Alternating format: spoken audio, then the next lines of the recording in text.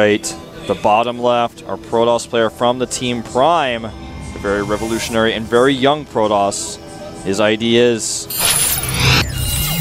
Creator Prime!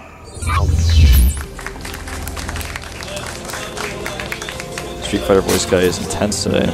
Yeah. He is. Certainly getting excited about the game as well. To the top right in the blue, we have the Zerg player for the opposing team. Uh, he already finished off one opponent. Here we go. This is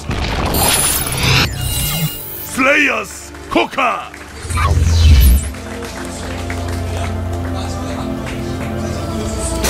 And the map is Daybreak, as we said. The third base is the most important part of this map because this is a great map to take a fast third on, but as a Protoss, it's fairly easy to attack because there's so many different locations where you can hide pylons. Stargate play is really good here. I feel like this map actually gives both races the most options, and that's why I like it so much. This is my favorite map by far for any matchup in the map pool that we have. Two of the strongest pushes that we have here is uh, definitely the Immortal push and of course Blink Stalker play with a plus 2 attack. And uh, the Zerg player is in the position where he has to defend again, to be able to defend against both of them, which is not really easy. There are different things that you can do, but the most important part as a Zerg player is you have to scout. You have to scout properly to know exactly what your opponent is going to do, and then you can uh, prepare accordingly. Yeah. Uh, I'm like on this map. Uh, oftentimes you see Zerg players go and do exactly what we're going to see from Coca right now, which is to take the third base here. And on this map, differently than Metropolis, when you do this, you're not really vulnerable because it's pretty far away from the Protoss still, and if you scout well for pylons, you're going to face pressure from warp gate timings that you would face at your third base normally anyways, and there's no rocks blocking you, your third is very accessible. Yeah, you have to spread a decent amount of creep to get those bases connected, but it's not really a problem to take the third base here, and I really like the choice. It makes a Protoss feel even a little bit silly if he doesn't deny the third, because he's like, oh, I'm going to deny your hatch, and then he doesn't really get that much of a denial. It's not that significant on this map. Uh, very quick gateway going down here. He's going to drop his cannon very soon as well. And he went for faster Nexus. The, the curious thing is when will our Zerg player take gas and what will his tech be? We've seen Mutalisk play kind of make a little bit of a resurgence in this matchup. Skoga already scouted that there was a Nexus first play by, uh, Creator and now he has the second Overlord in position as well. And the Overlord positioning on this map is always, it will always be like that you can actually hide your tech you can try, at least you can try to as a Protoss player, because what we usually don't see is an Overlord at the bottom left of the map, so if you place down another pylon and try to, take, uh, to hide at least a little bit of what exactly you're doing, you're usually able to pull it off. But now with the three bases, or the third base being produced for Coca, he's going for this usual style. We have the, well, that's the one thing that I don't really like about this uh, positioning. We currently have him placing down the Cybernetics core, and the Cybernetics core is in a position where it will be exposed to any kind yes. of attack. So if there's going to be some pressure, then the Roaches will be able to snipe the Cybernetics core. And if you lose the Cybernetics core, it is such bad news for a Protoss player who tries, who's in a defensive position already, because it means you can't get any Stalkers. Range units are going to be a big problem for you. So that's one of the things that um, are dangerous. It's dangerous for sure. This is one of the maps where it's a little bit wider, so you have to make the core as part of your wall if yeah. you if, if you don't want to you know delay your wall quite significantly. Um, and it's unfortunate because with the positioning of the core, like you said, it can be picked up by roaches, as can the forge. So that's something you definitely have to think about. Stargate is on the way, so we are going to see Stargate play coming out from Creator. Third base has already been taken for Coca. We're going to see third and potentially fourth gases. Yep, third and fourth coming up for Creator now. The Zergling spotted that there was no plus one, so he knows that up at this point there's no plus one, and the Overlord saw that both gases are taken at the natural, so he's on four gases now, well, Creator that is. At this point, therefore, a lot of information that Coca can work with. And uh, he can uh, can drone up a little bit, but he needs additional anti-air, he needs additional queens. He's already at two, he's getting a third. And I guess that he will very soon also start with his evolution chamber. Yeah, he's going to need that. He's going to get his roach warren as well, just to be safe. Should start his evolution chamber any second now, so they can get the spores up for potential DT play, but also more importantly, the Stargate play, which he will know is coming. And his Overlord has already seen it, sees the Stargate now. So great reaction there. Uh, still no evolution chamber, but he will be starting it very soon. There it is. He also didn't build additional queens. Currently has the supply, and he's not even connecting his bases with creep at this point. He has one creep tumor out at the third, which is the most important one because what he wants to do is to spread his creep out a little bit so that incoming attacks will be on creep immediately. He's going to get supply blocked by this attack with the Void Ray, and he did not actually add additional Overlords fast enough. Now he's doing it, adding three, but he's going to find himself a little bit supply blocked, so he can only make one additional Queen with the drones he's made. Three Spore Crawlers going up. Robotics already on the way for Creator, and he may try to hit a Colossus timing, but that's very unlikely. Oh, the Zealot getting caught just a little bit too far away from home. I was about to say that I would really like him to use an Observer and the Void Ray in order to force back creep, but then I had another look at the minimap and I'm like, hmm, well, there is actually no creep. There's nothing to force back. Yeah, I mean, uh, against a, a, normal creep spread, it would be very useful. Only see that sometimes, but Void Ray is going to be the scouting unit here. I'm also a little bit disappointed here. We just mentioned in the last map that Coca is usually one of these players that really focuses on his creep spread, but this time around we have a lot of active creep corners. We have two active creep corners on the map, and he does not really use them all that well. Yeah, he's starting to do it a little bit now, almost as if he heard you. But Robotic Support Bay actually is on the way for Creator. He may try to hit that timing I was describing earlier. We've seen a lot of players do this really well recently uh, including Seed, for example. The question is also going to be what kind of reaction is Creator able to force out of his opponent? Is Coca going to transition into a Hydralisk just to be safe when he sees that there are a couple of Phoenixes and one Void Ray, or is he completely going to ignore it? Because there are a lot more Phoenixes now. It's not like he's stopping at 3, which we've seen so often, or at 4. He's already at 5 and uh, 1 Void Ray, so that's a lot of Phoenixes here. He can do a lot of damage. As soon as one of those Queens moves, it's going to be dead. And that's the Hydra then. Yep, he's forced it, and the queens, like you said, if they get too close, they will die. He's going to be so careful. And now he's going to deny the creep with that Observer, just as you mentioned. Plus one armor on the way. More Colossi coming out. Can't get plus two because it doesn't have a Twilight Council, but he is really hurting the creep which makes the Hydralisk even less effective than they would have been against this type of composition that is coming out. Denying even the first tumor that's really spread out there, and now he could potentially go for probes, and he will. Going for those drones, taking out several of them, including some of the gas drones. Very difficult to replace. Oh, this is a, a, great build from Creator. Infestation Pit coming out. That's also going to be a little bit less effective against Colossi pushes. For a quick second, we had the Rin ratio on this map. I think it was 31 to 24, but I only caught a glimpse of it. Yeah. Uh, in, uh, you know, this map... Oh, hold that thought. Oh, nice. Catching some of these Hydras. Hydras are light armor, and this is one of the biggest problems that they have against Phoenixes. Phoenixes do extra damage here, and as soon as you... Well, you need a certain amount of Hydralisk. If you don't have it, then Phoenixes are just so effective. So double Stargate play, for example, is very dangerous to a Zerg player, even if he goes for Hydralisks, and it's often uh, quite... The problem that you often have is that you don't really account for how dangerous those phoenixes can be, and if you underestimate the amount of damage they can do, uh, can deal to you, then you might just lose your Hydra.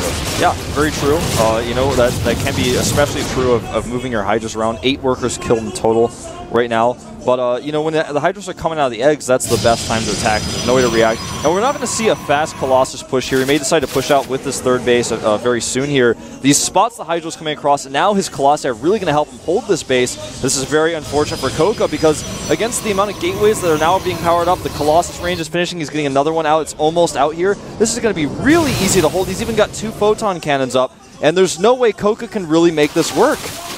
Naniwa would call this a creator build, and it really works. But wow, oh. that's bad. He loses three Phoenixes because he doesn't pay enough attention to the minimap. Does not see that those Phoenixes are trying to engage in a battle with like 20 um, Hydralisks. But the thing is that currently we have a fifth base even being taken. Coca realizes, okay, my opponent is on three bases. Um, that's not really something that I'm comfortable with. I need to get ahead in economy. I need to take base number number four and number five. This will also help me with my production. And he knows that against the Colossi, he's in a tough spot because Colossi and Hydralisk, they don't really mix all that well. So he has to make something happen. He needs that Spire. He, he built it already and is going for the Corruptors right away. Yeah, and look at that Observer. Oh! That was close. The, the, the creator move out here is one that's really, really scary right now because he can even take a fourth as he does this. He's got the perfect composition against what he's, he sees of his opponent. And with this, Coca is going to be freaking out. He's making Corruptors right now, making a few Spines, a Spore, trying to get his Hive up. He knows that if he holds this and gets his Hive, then he's going to be in a decent position to start getting the Brood Lords and attacking. So he's, he's trying to buy time in any way he can, but this is really, really scary for him. It's stressful. Creator is not going to to attack, I think. He's No, going to wait right. until he's at 200 supply. He's taking a fourth right now.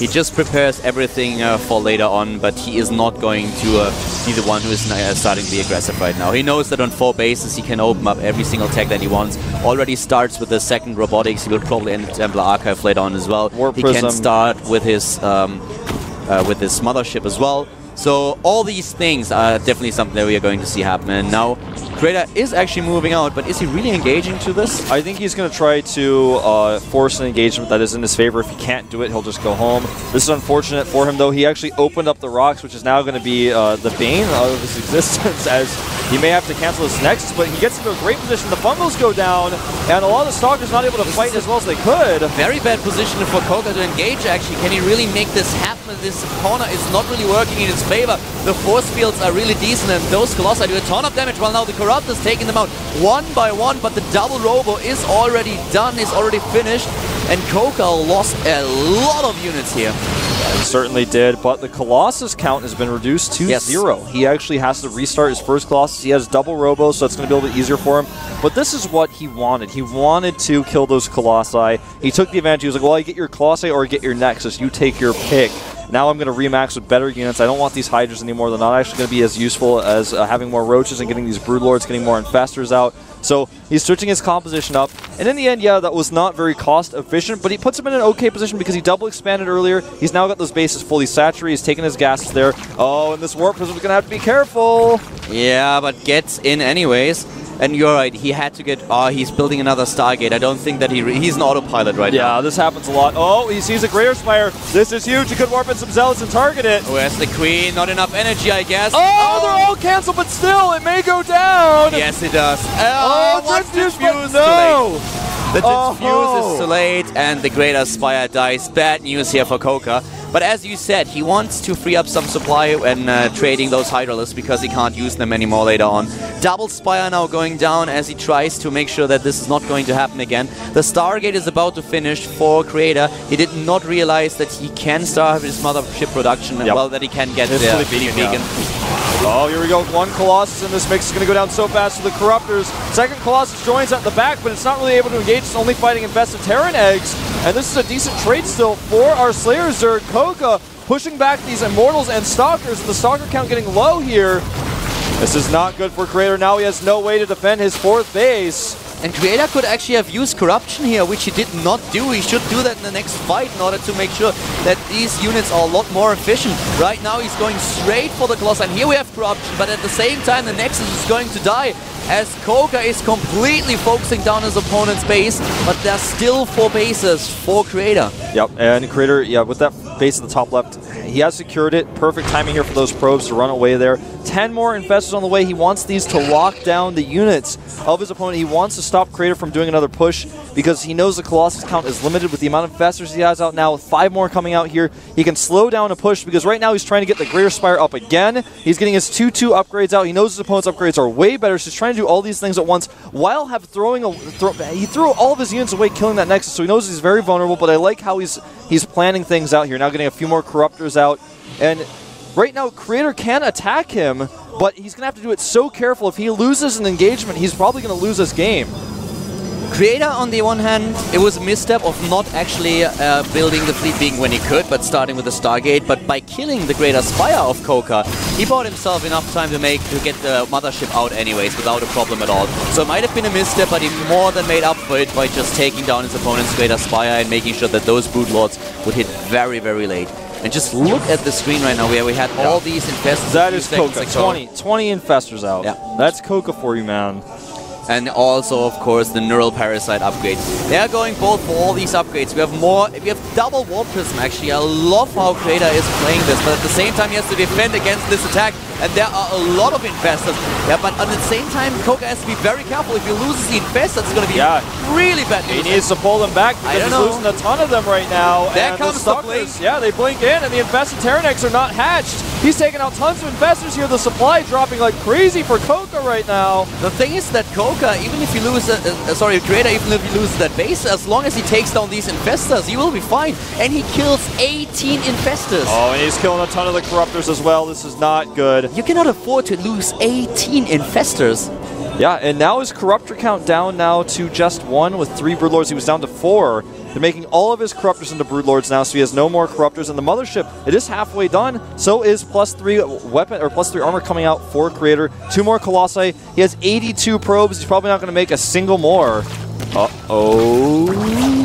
Okay, it's fine. Yeah, the Warp Prism here is fine, but that's uh, that's definitely starting to be very, very scared. The Warp Prism warps in a couple of units, but it dies too early.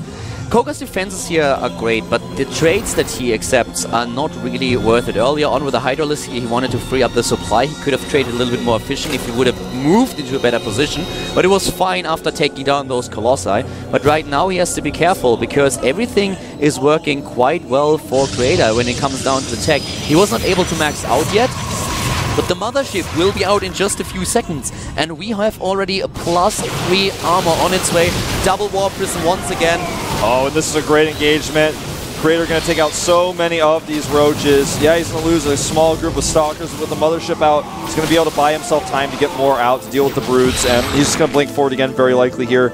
Cautiously does not. I like that because there could be broods and spines on the other side. He does not know. Plus one air weapons coming out now. We may see a switch uh, to air with multiple Stargates. He already has the two, and he's got the Fleet Beacon ready. So I like this choice. It's going to make his mothership slightly stronger as well. Warp prisms everywhere. I really like how he's using them. He definitely uh, took a look at Ace against Boom Boom. Yeah, he certainly did. A lot of spines here, but with the upgrades on these Zealots, it's going to take more than one transfuse to hold these down. And he, he does use two, and he will actually hold this, but he's there's well. a second one coming in, and he's definitely going to target the Infestation Pit. That's been his choice here. This time the Warp Prism is not going to die, and that's a lot, a lot of zealots. Yeah, I'm a little bit surprised he's not going for the, the Infestation Pit. He's actually going to take out a lot of Lings, but that was not the most cost-efficient drop we've ever seen. He can force his opponent back a little bit, it's, uh, but he does not attack, so it's not like he just tries to get him. Oh, actually, now he does he move in? No. He considered it. Uh, I, I like I like how he did that Look drop. the production tab. Yeah, three Stargates. We're going to see carriers. Right now, we see the Graviton Catapult upgrade coming out. Yes. Fling those Interceptors out at a much higher rate. Two more Broodlords, three Corruptors coming out. He's got plus two air weapons coming out as well. These carriers, though, can be really scary if they are hidden properly. And now he's attacking the bottom right at the same time. Coca is trying to hit the top left, moving in with the Zerglings and And Roaches. got one Templar just there, trying to snipe. He's moving and just trying to snipe the base, but at the other end of the map, we have the base going down. There's no way that Coca is going to save this. Both of them losing an expansion. Yeah, both of them losing an expansion indeed. Some uh, workers being taken out. Recall used defensive layer to save units from those Broodlords. Nicely done. Uh, you know, he probably could have gotten out either way, but it was definitely the cooler way to do it. And the Nexus being rebuilt, he's got plus two armor coming out for his air weapons as well as shields. Everything uh, coming out. He's making that. He's going to make that carrier transition very soon. Coca also, uh, and two additional Stargates. That will put him up to six, no, seven. Seven, I believe. Yeah. That's actually seven Stargates for him. Wow. I mean, you have to have a lot of change in order to afford it. It's a very expensive unit, that much is true. First carrier in production, plus one shields on the way. I'm sorry, that's plus one armor, not plus two armor for uh, air units. I was mistaken there. That's how rarely we see that upgrade. Creator has a very high worker count too. He is at 82 against 68 workers, so that's something that you should always consider when we compare the overall supply, because of course the army supply is currently still in Creator's favor, but not by as much as you would think. Yeah, and this Broodlord positioning is quite good. Before the carriers are out, before he has an answer for these, he may lose his Nexus. The Infestors are in position as well. He's got only five Infestors out right now. It's going to become seven with two additional ones on the way. But this is a huge win here for Coca. However, he's going to lose his base again at the bottom right. He has no answer for this, and the Mothership can recall again. The mothership can recall indeed, and one of the big problems that he has is that the anti-air is not enough. He's getting a couple of corruptors that he badly needs because he's currently only at six of them. At the same time, though, we don't really have enough uh, units in production uh, for his opponent. With all the money that he has, he could build a lot more carriers. Right now, actually, he's supply block by now. He started another one, and now he's supply block. And he cannot use this Warp Prism that he sends to the top right. Yeah, he can't. He doesn't have enough supply. Once he starts losing a few more units, though, he will be able to. These Broodlings not targeting the Nexus. There they go. A little bit too late. He's going to be able to force a cancel this next wave, but he's very vulnerable. He's, he's moving way out here, and yeah, he's got some Corruptors and he's got some Infestors, but this is a scary army from Creator. I would not want to fight this right now. He's got some Storms available to him as well. The Carriers are not going to be hidden much longer. If he wants to hit, I think right now is actually his best oh. chance. Now is the best chance for Coca to make this work. So far, the seven Stargates have not been used at all. The is he going to blink? Where are the Fungals? Where he are they? Some. There they are. There they are. He needs them really badly. There, there is no Vortex available. The Mothership is being targeted down. It, it dies. Falls. Coca is pulling this off. The problem for Creator is he does not have those carriers yet. He's just building them now. Everything got so delayed, and here are the Colossi. Every single one of them already dead. And Creator drops in supply like crazy, while Coca is trying to take the game. He's trying to shut down his opponent's yep. unit production. Seven carriers on the way, but they're going to be shut down like you Look said. Everything's all, dying. All the Broodlords were so low on hit points, that they couldn't quite finish them off, and that was such a razor-thin engagement for that reason. He's losing not only his carrier production here, but another Nexus, Probes are forced off the line. He's got 1,400 minerals, but he needs to spend them. On the other hand, the Zerg player, even though he has the sick army, his economy is really hurting, and a few more Warp Prism drops could really shut down all the mining he has. So, but it's going to come down to army versus army potentially here, and Coca has the much better army right now. Coca has 111 army supply against 68, and look at the gas for Creator, he just doesn't have any. No, he does not. He's taken out the last mineral mining, though, of our Slayer Zerg. This is a really stressful situation. And here come those Broodlords. He no longer has a mothership. He's got three more carriers coming out here, but the Changelings see everything. They indeed do. Creator had a great, great position with all the production that he had, but those carriers hit way too late. He tried to make it happen with the composition that he had, uh -oh. but was not able to face the Broodlord army of Coca, who is now targeting another base. He lost the core. More production buildings. This is really stressful. He does not have, he only has three carriers out and 18 interceptors, four Archon support. It's not enough. 13 Corruptors. 13 Corruptors. And of course, there are also the Infestors, eight of them. And they have Neural Parasite. Well, he's continuing the attack here. He's trying to target down this hatchery, but the spines have been moved, repositioned to defend it. He cannot actually assault this position, not without bigger armies. Yeah, the Queen has full energy. She can transfuse, no problem whatsoever. He wants this carrier, and he may be able to force it out. No, he won't. It's not going to be out in time. No. He gets the money back, but that's all he gets, and it's the, carrier count remains at three. Does not have enough for the Infestors and Corruptors, and we may see a slow and painful death here for Creator right now. And here we go, Infested Terrans are immediately being spawned. We have the Fungal, and here comes Coca, and Creator is down in supply. The Corruption spells used on every single carrier, they die, all of them. And the Prime player is in so much trouble as he drops down to a 50 supply. Coca he is taking apart every single production building that Creator Prime still has. And even though our Protoss is starting another expansion, is still mining from one base, he does not have the production to make this work. No, he doesn't. His probes aren't even split between the two bases he has. He's only got 58 supply left. He's got no army to defend, no army to speak of. And this the production of his opponent is good enough that he can just make a few more roaches and go and kill those bases. He can actually just fight interceptors at this point with the amount of corruptors he has. Boom, there goes the carrier. The gateway here will fall as well. The queen may even kill it. And this is lights out for Creator. Coca will take a lead. Yeah, Coca is going to take this game if he doesn't really mess up. But at this point, he can take another base, and he should. He still has some mining going on, doesn't have the resources right now because he built some Zerglings, tries to scout everywhere on the map what exactly is going on, attacking one of the last bases that Creator actually has. The cannon is gone, and now those infested Terrans will do some damage before the Zerglings and the Broodlords will finally arrive. Yeah, but you yeah. saw that Stalker Force at the bottom right. He was trying to kill a Hatcher that may potentially be there, but it wasn't there. What went wrong here for Creator? He uh, seemed to be in a really great spot. He had five bases, he had his tech and everything. I feel like the problem for him was that he was trying to go for these carriers. He spent so many resources on the seven Stargates. He had seven carriers on, on the way, but he had a poor engagement. It was, like you said, it was the perfect timing for Coca to attack. And the way that he dealt with it was poor. He used all his energy on his mothership to do a recall, so he didn't have a Vortex. And then suddenly he's facing that Broodlord composition that before Process figured out how to use Vortex with could not fight, and he didn't have a Vortex, so he just he struggled to deal with it. Now his economy is so shot, he's going to lose his last Nexus. This is all he's got left. No Vortex, no anti-air units, just didn't have them. He was maxed out before. Sacking some units with a counter attack might have been able to just open up enough supply, but here's the GG as Coca takes the second game and Creator falls victim to the Slayers player. Such a great game, though. I like the carrier idea, but the way it was executed was not. It was not flawless. Let's just say that. He thought he had more time. Yes. And Coca hit the perfect timing, hit him really hard where it mattered. And once he hit that first wave of anti-air units, like you said, there was no way to deal with the Broodlords anymore. We saw great storms on the Broods. How many Broodlords were in the red? Probably about 90% of them, but he couldn't kill them. And eventually they got their hit points back, and they were still doing the damage. And you can't blink in and kill them with that many Broodlings on the ground with the amount of Infestors he had, with Infested Terrans. It was just not going to happen.